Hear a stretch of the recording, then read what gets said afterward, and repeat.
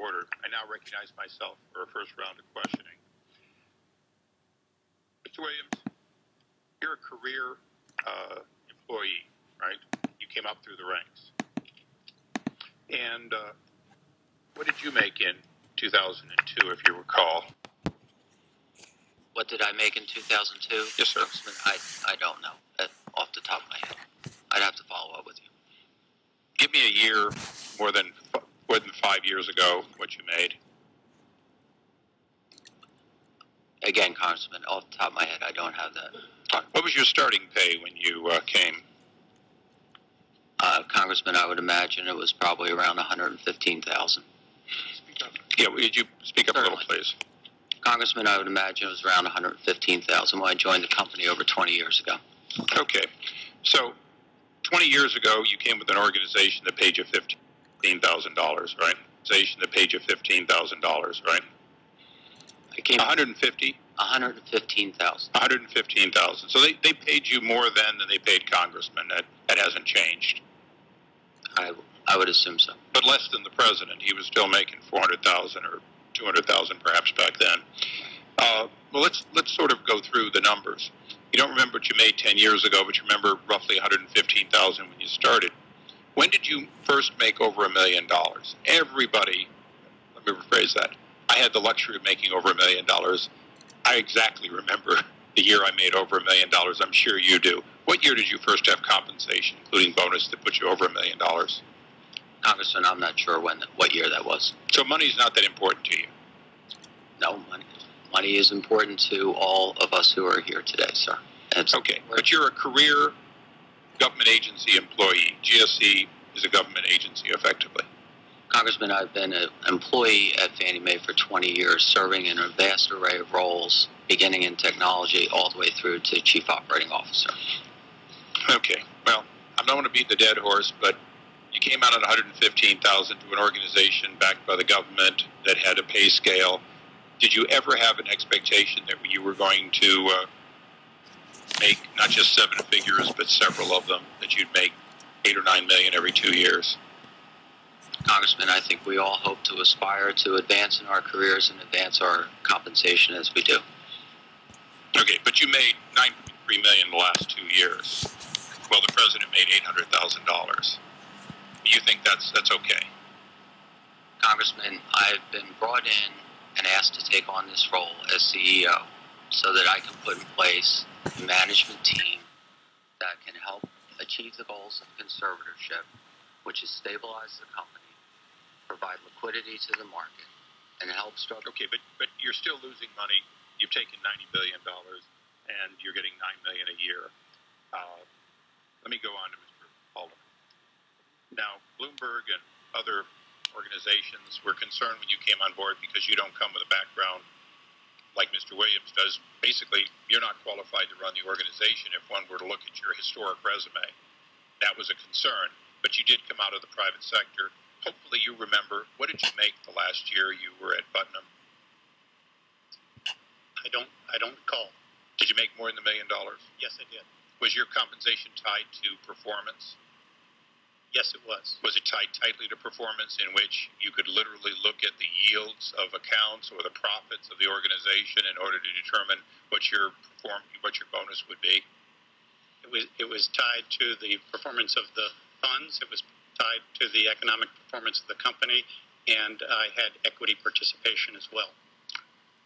Now, equity participation always assumes that the stock goes up, right? It doesn't always. No, it, it happened to during my tenure. It does. So your, your options were worthless if your stock went up or went went down. that would be correct. Okay, so at, at Freddie Mac, has your stock gone up? In uh, my tenure, it has not gone. Okay, I just want to make sure that uh, 7.8 million over the last two years is based on a company who is not worth more today. As a matter of fact, just for the record, uh, if I were to look at the net profits uh, for Fannie Mae from uh, 2003 to 2010, I'd find the net profits were a 10 billion dollar, 11 billion dollar loss. At Freddie Mac, I would find a 72 billion dollar net loss over that same period of nearly a decade. So, including the time before you came in, in which the books were being effectively cooked by taking in bad debt uh, that was going to go bad, but in fact, putting it on, there were paper profits of four and five billion dollars, But over that period of time, you're, you're on an organization that certainly lost 14 billion in 2010 is going to lose equally or more this year. So that's the organization you're running for four billion, four million dollars a year. Is that right? Yes, we have lost money due to loans that were put on the books during the period 2005 to Okay, 2000. my time has expired. I just want to get one last thing in for the record. Mr. DeMarco, from what I can tell, your $230,000 salary is all you get, right? Yes, sir. All I get is my is my salary. And you do stay for that menial amount of money for some unknown reason, even though you could make money elsewhere.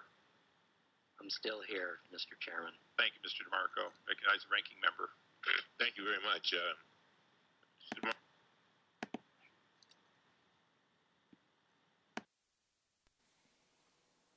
I, I- I must tell you, Mr. Alderman and Mr. Williams, you all come from a different world than the one I come from. If I had made a million dollars, I sure would know when I made it. That's for sure.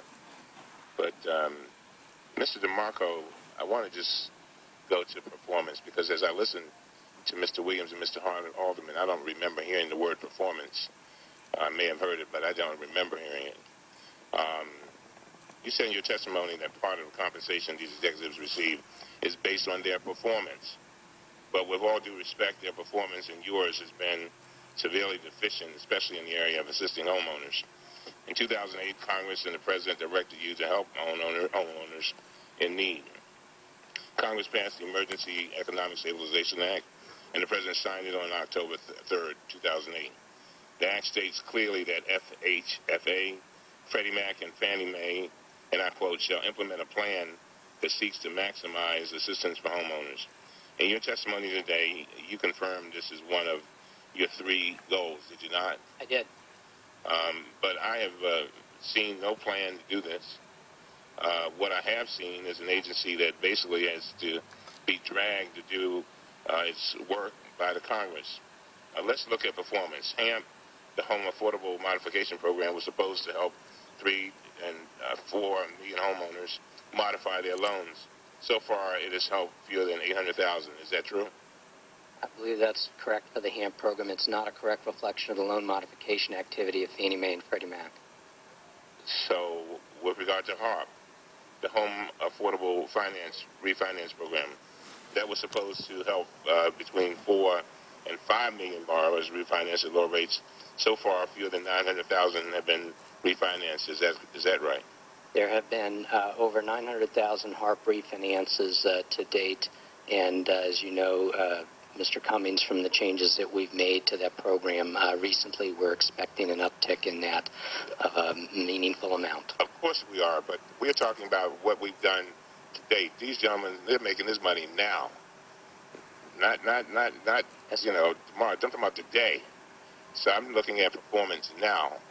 Um, Mr. DeMarco, it was not until President uh, President Obama made an address to Congress on this topic that you started to revamp this program in a serious way.